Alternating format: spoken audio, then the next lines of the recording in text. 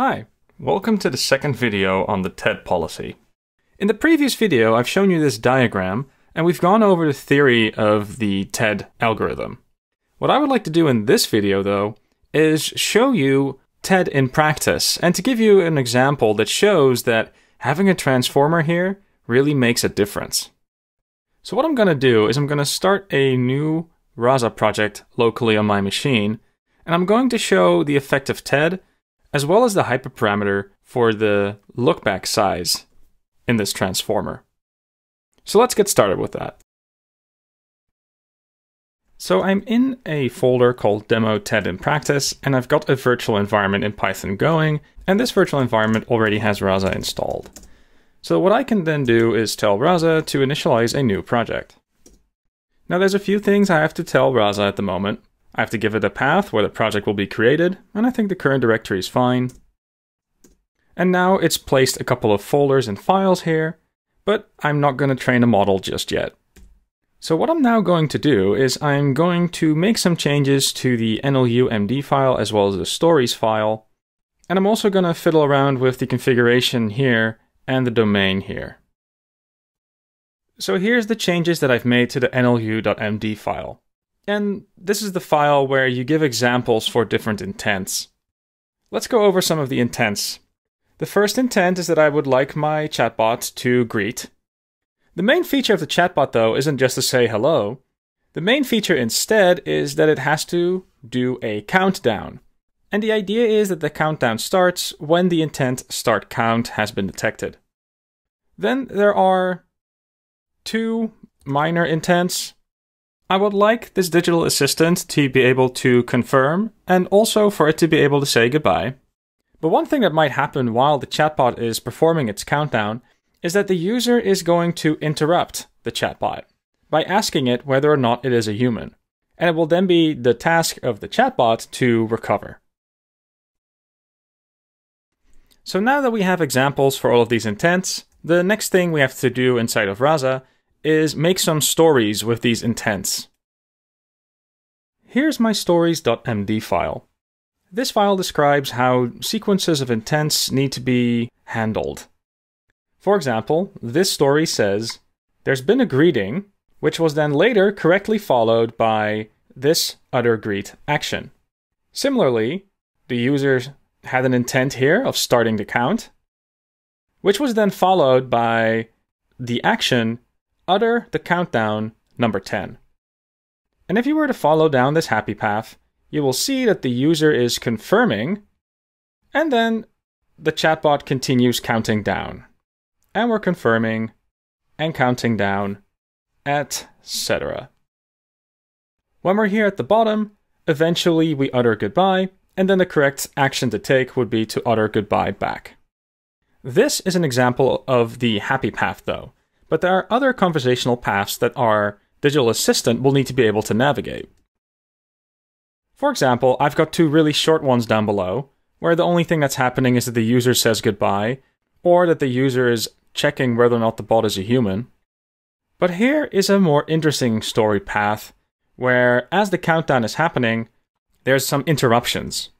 For example, here, while the chatbot is counting down, the user suddenly doesn't do a confirmation, but instead is challenging the bot, whether or not it's a human.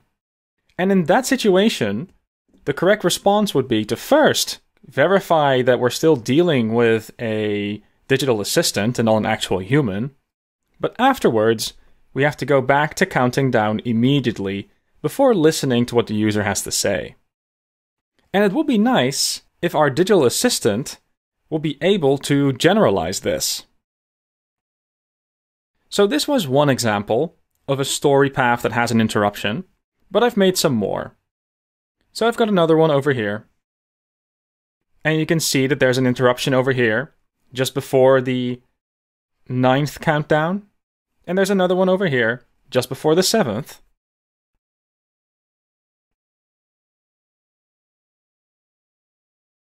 And I've got one more path down below here, where there's a bot challenge at the bottom. And finally, I've got this example that has lots and lots of challenges in it. over here, here, here. Now, there's one thing to note in particular. In every example that I've shown you, every story so far, we've never done a bot challenge intent just before countdown number 4. And I'm going to be remembering that, because that means that if, at some point, the digital assistant is able to generalize the interrupt at this point in the countdown, then I can argue that that's a clear signal of generalizing, that our policy mechanism is working in the way that we would like it to. With my stories.md file done, what I will need to do is hook everything together inside of this domain.yaml file. And here you can see the contents of my domain.yaml file. You can see that I've written down all of the intents, as well as all of the actions that the digital assistant needs to be able to handle. And when we scroll down at all the responses, we can see that the actions that the chatbot will take are just utterances, and they're relatively simple. So we're going to be counting down, countdown exclamation point ETA 10 and an emoji. And I've got that filled in for all the numbers up until the end. So this is the data that our digital assistant will be learning from. To now investigate what the effect is of our policies, we'll have to make some changes in this configuration file. Because this config.yaml file declares all the settings for the machine learning pipelines that Rasa is using under the hood. And in particular, we're going to leave the settings over here alone. These settings are meant for detecting entities as well as identifying which intent the user is taking. Instead, what we're more interested in is how the sequence of dialogues is handled, and those items are set here. These are the policies. And in particular, you can see over here that we've got the TED policy. So this over here, that's where we're going to be making our changes. So what you see here are the policy settings above. They are from the config.yaml file. And then over here, I have a terminal which gives me a place where I can talk to the digital assistant that I'll be training.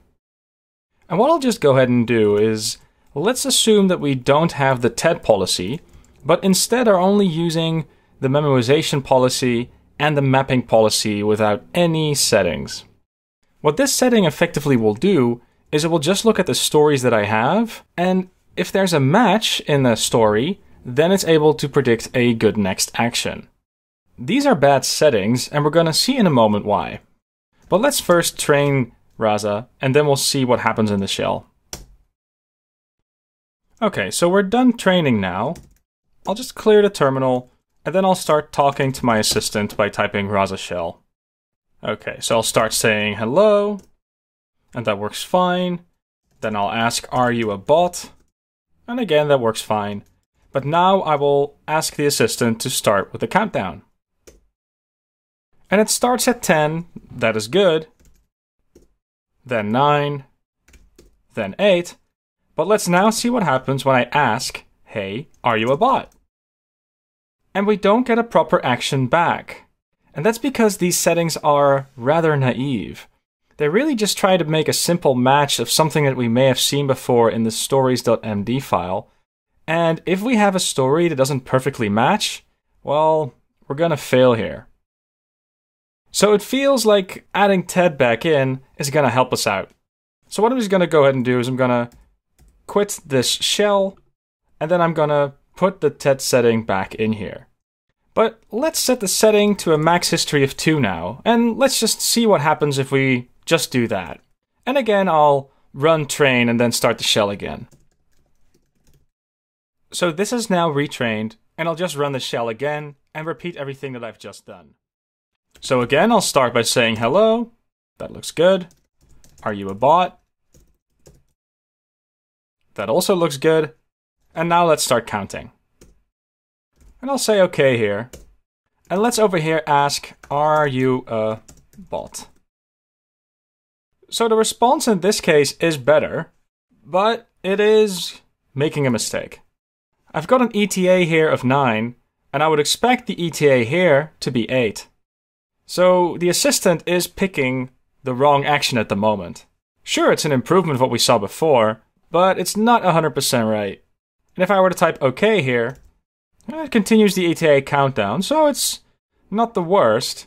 But let's see what happens if we just increase the history back to its default setting. And I'll retrain once again.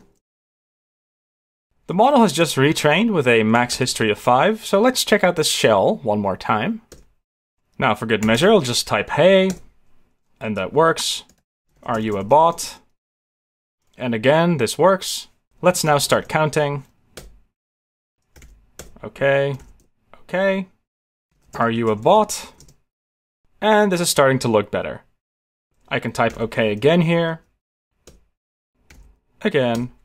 And we are right before the fourth count, so let's ask are you a bot here as well?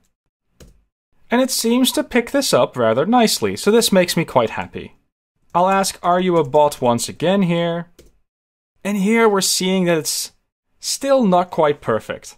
It's definitely better than anything we've seen so far, so I like where this max history setting is going, but it's making a mistake over here. The ETA number that I would have expected here is 3, not 2. So I figured as a final experiment, it would be pretty interesting to now change this max history to 10. And what I've done is I've trained the system beforehand, so what I can now do is just explore via the shell. So let's try this out. Hey, looks good. Are you a bot? Looks good. Start counting. Okay, okay. Are you a bot? Are you a bot? Okay. Are you a bot? So despite our best efforts with the hyperparameter, we see that it's making a mistake over here. So that means that indeed, we cannot fix everything with a hyperparameter. In this particular case, we need to also think about adding some data. But to wrap up this video, I would like to take a little bit of time now to just zoom in on that max history, what that parameter exactly does, because it will explain why we've been able to get a better system by using TED. So to wrap up, I've drawn the schematic from the previous video on the right hand side, and I've copied a story path from my stories.md file, and that's what you see on the left. Now, let's imagine what happens to this transformer in terms of data that it's getting during training or inference. And let's suppose we are at some point in this dialogue where we've received this confirm intent over here. We've also had this response, and then we saw this bot challenge with yet another two responses come out. Well, then in this case, we have five sets of features coming in and it's going to be these five sets of features that are gonna, over here, predict what the next best action is going to be. And you can imagine that if I were to increase the transformer here, that I would have more data at my disposal to make that decision.